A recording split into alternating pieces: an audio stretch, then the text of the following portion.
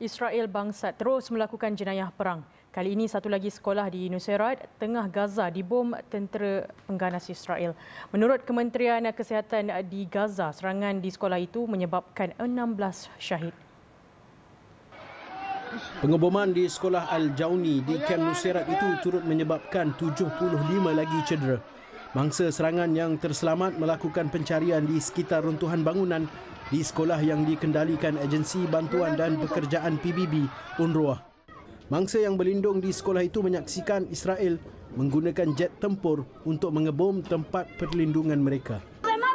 في المدرسه فيش صاروخ تحذير النشر بعتوش صاروخ تحذيري شفنا ال 16 تخبط المدرسه اشلاء الناس قاعدين اطفال بيقروا قران بيقروا قران اطفال يستشهدوا بس الحمد لله شيء بيشرف بس هسه احنا بدنا محكمه دوليه بدنا نرفع فيهم حقوق الانسان هذا الكلام مش صحيح هذا الكلام مش صحيح اللي قاعد بيصير Tentera Israel yang dikenali sebagai pembunuh kanak-kanak itu cuba mengaburi jenayahnya dengan alasan jet tempurnya menyasarkan pengganas yang beroperasi di sekitar sekolah Al-Jauni.